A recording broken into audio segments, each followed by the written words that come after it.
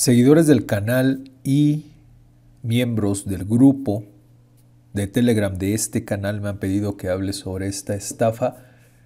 Y vamos, es lo mismo. Por eso vámonos rápido. Te he mencionado que este tipo de estafas, pues detrás de ella está un grupo delictivo que afirma que son empresas internacionales que comienzan operaciones en el país y se están moviendo ahora hacia las criptomonedas.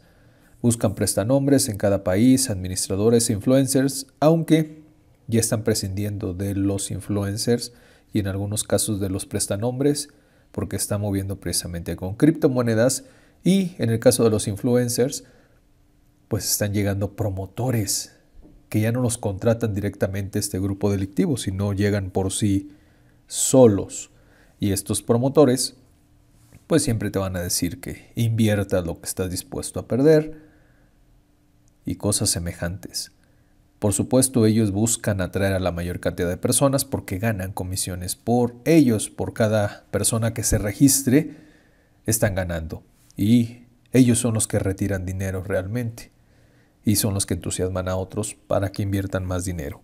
Todos ellos buscan inversores, es decir, gente con dinero, aunque no lo tenga, lo va a buscar prestado, etcétera y la mayoría de inversores desconoce cómo funciona la estafa, la estafa, pero son animados por inversiones con alto retorno. Así está sucediendo. Por supuesto, esta aparente oportunidad de negocio es una estafa y hay muchos promotores ya hablando de ella.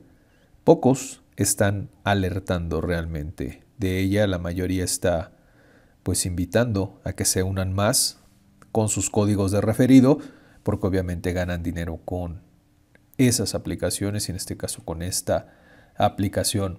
Es una estafa a todas luces. Pero vamos, el nombre se registró el 23 de diciembre del 2021 y solamente por un año. No les interesa tener más tiempo. Y nos encontramos con algo interesante, también de Phoenix, en Arizona, en Estados Unidos, y hay muchas estafas que están registradas también en Phoenix. Son varios grupos delictivos, este es uno de ellos y es una estafa, así que evita entrar en ella.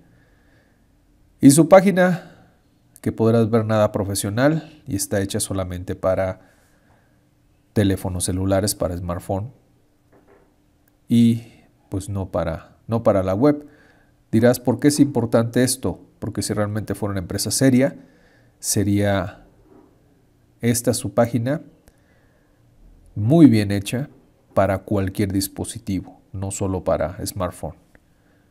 Es una estafa, pero vamos, dime qué opinas en los comentarios.